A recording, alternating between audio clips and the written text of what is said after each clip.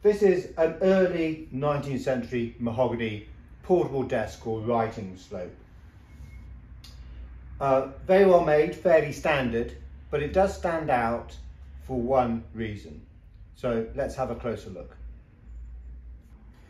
So you can see it's made with a good, rich, deep mahogany. Um, it's heavily strapped with brass.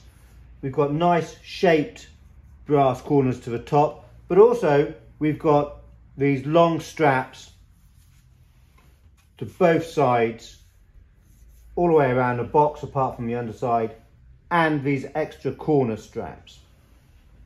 Added to that, you've got a very nice shaped engraving plate to the top, which has been left blank.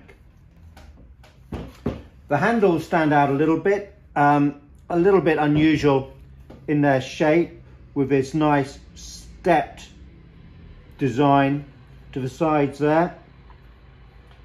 Just lift that up with a little uh, fingernail hole there so you can get in. And steel screws have been used to fix all of the brass strapping and handles, which is quite a nice touch. So let's open it up and have a look further.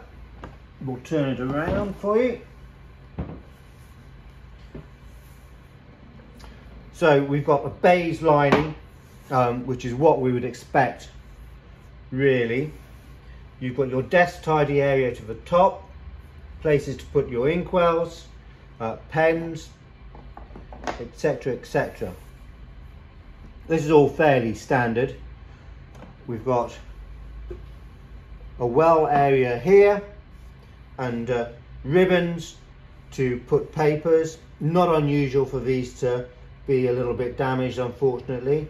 Um, we might be able to tidy that up a little bit, but at least they're original, the ribbons.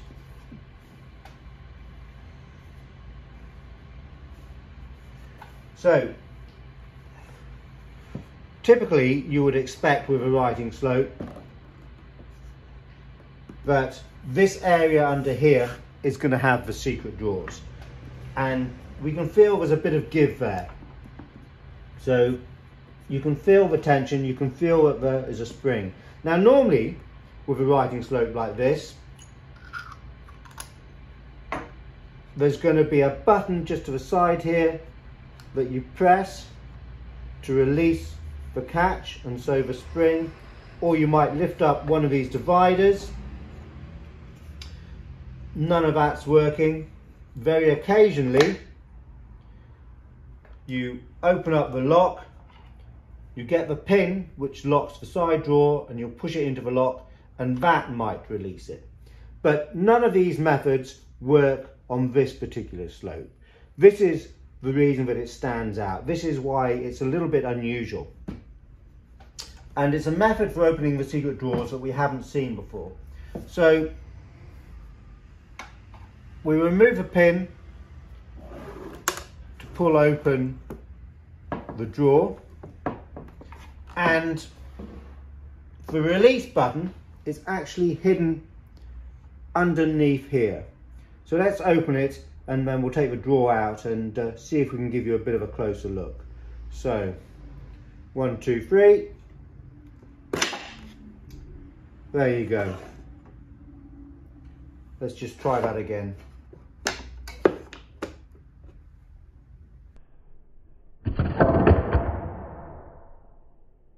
So, with the fascia board open, we can see we've got three little drawers here which are faced in satinwood um, with what looks to be ebony stringing around the edges and a nice little turned ebony knob handle there.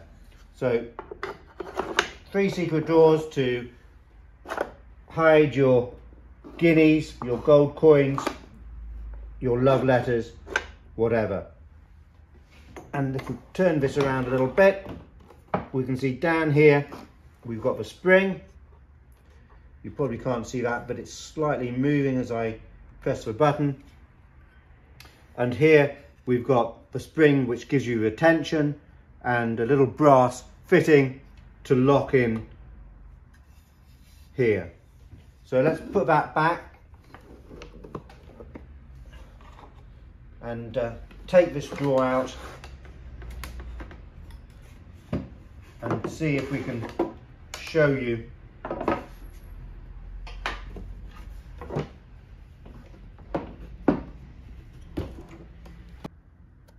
you can see just under here the button to push and release the writing slope. So